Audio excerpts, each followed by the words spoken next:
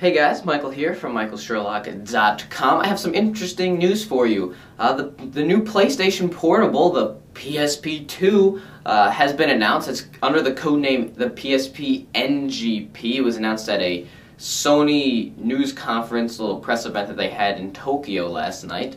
So let's go over some of the specs because this device is kind of exciting.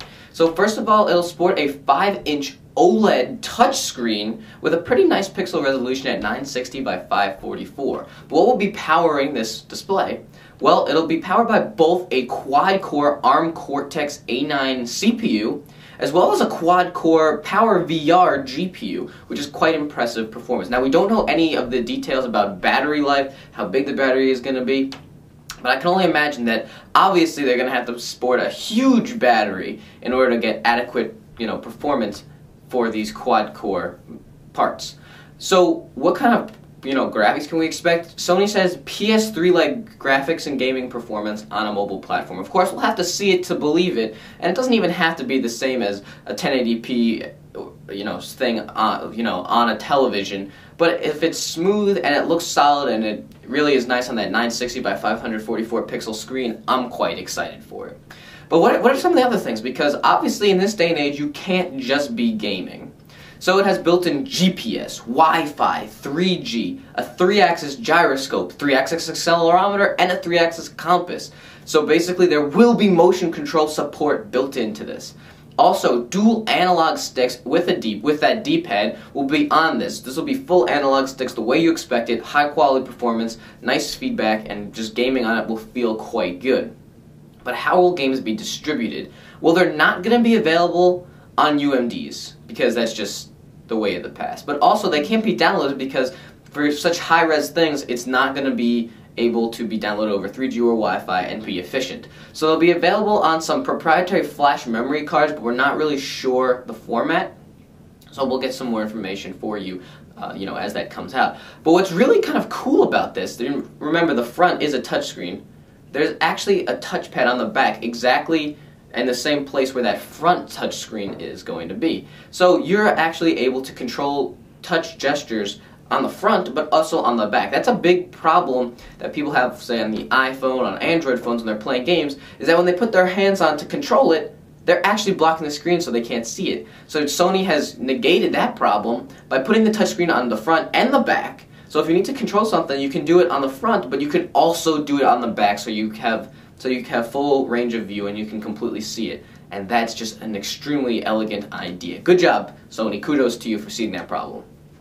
Now, another thing that I saw on this that was pretty cool in the press release that I read is something called Near, which is a location-based service. You can find out what your friends are playing now or have played, uh, based you know when you when they're local. So if you just walk into a cafe or into a restaurant or whatever, uh, that's just a bad example. I don't know what you're playing in a restaurant for, but whatever. You walk in and you know your friend has been there or is there. But you have the GPS that's built in. You'll get that, and a little notification will pop up and tell you about that. But it's not just local if you don't want it to be. You can meet friends locally or virtually, and this will be you'll be able to communicate by sharing game information. This seems a lot like an Xbox Live, PlayStation Network type of deal, and if they can really get it to work quite well and perhaps even implement multiplayer gaming over Wi-Fi or 3G, 3G would be pretty cool uh, whatever. Um, that would be quite exciting and it would be really a good thing. Of course, they also have um, an achievement, a way to track achievements in this as well, because people love to, to brag to their friends about their highest score in Killzone.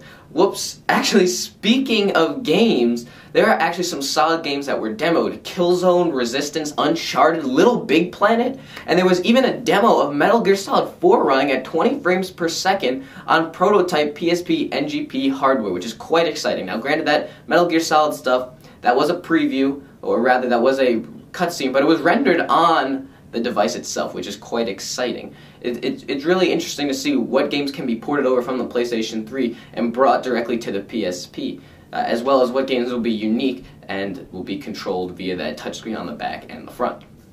But you can also download PSP games and content from the PlayStation Store, as the PSP Go does, and there's also something new called the PlayStation Suite. This is the PlayStation Store for Android smartphones and tablets. When that first launches, the P there's going to be a PS1 emulator to start. So all those games that you grew up with will be available on the PSP or on the PSP NGP, which is pretty exciting. But also new titles are going to be uh, designed specifically for Android gaming later this year. Now there are no hard tech specs on what the, the tablet or the smartphone has to have, besides that minimum requirement of Android 2.3 Gingerbread, and this actually provides some serious evidence to the previously reported PlayStation phone that I talked about yesterday. Of course, we'll see more information about that at Mobile World Congress in Barcelona in February. But again, this store for Android will also be supported on the new PSP, so you'll be able to game on that as well, which is quite exciting if I do say so myself. Uh, now, finally, let's talk about the release.